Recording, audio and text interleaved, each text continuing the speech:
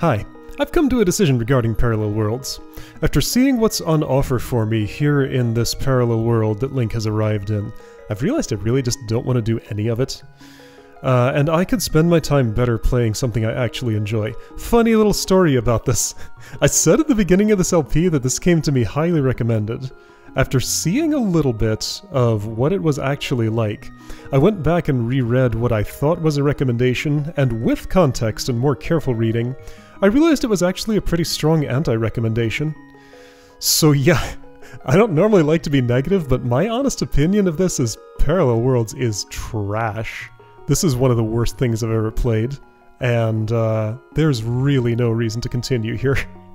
so yeah, sorry to anybody who wanted to see me continue suffering through this uh, to see what's later in it.